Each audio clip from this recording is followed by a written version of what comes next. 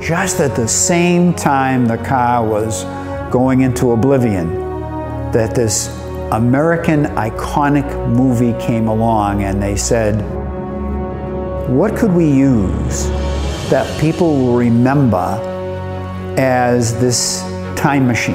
I saw Back to the Future opening weekend, July 1985. It left a mark on me, it really did. If you were to Google the most expensive DeLorean on Earth, my picture would come up.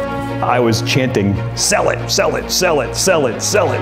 I have the notoriety of having paid the most money ever for a DeLorean motor car. Finally, the hammer dropped. I literally jumped out of my seat, high fived my father. $540,000.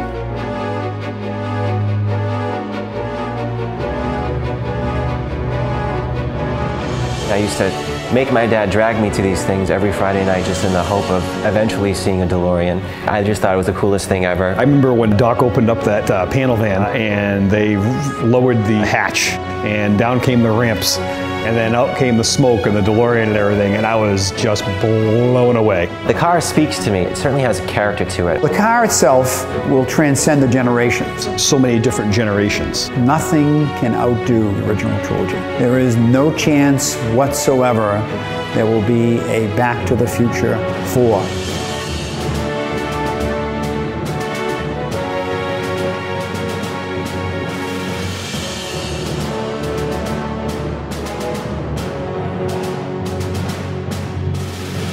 Back to the Future has made the DeLorean really what it is. Every survey you look, you can count on the DeLorean time machine. I love Back to the Future. It's probably my top five. It's probably not my favorite movie, and I'm not obsessed with the movie. I am obsessed with the car.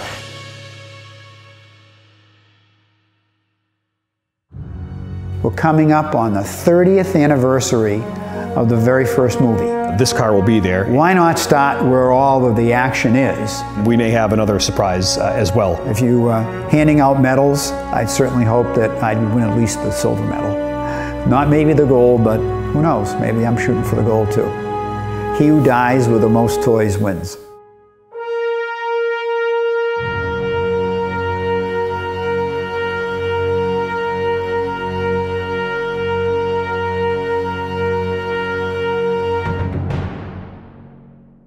Hi, I'm Jason Aron, and to my right is cinematographer Greg Lassick. Our film, Back in Time, will look deeply into the impact of the Back to the Future trilogy on American culture. But even more than that, our film will do this through the eyes, experiences, and influences of arguably the biggest star in the film. No, this is not a documentary about Michael J. Fox. This is a documentary about the DeLorean time machine and America's love affair with the vehicle. We've searched high and low to collect an extensive list of experts, collectors and fanatics to help us along our journey. We've met some of the most incredible people and been to some amazing locations. Among these experts are collectors of huge pieces of the film.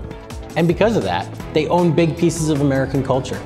In order to try to complete this passion project, we reached out to a producer to help us execute this project with the level of professionalism it deserves.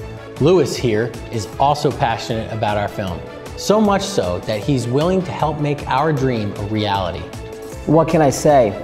When I see something with producing, I don't hold back. And truthfully, with all the resources available to help make this film great, I see no reason to wait any longer.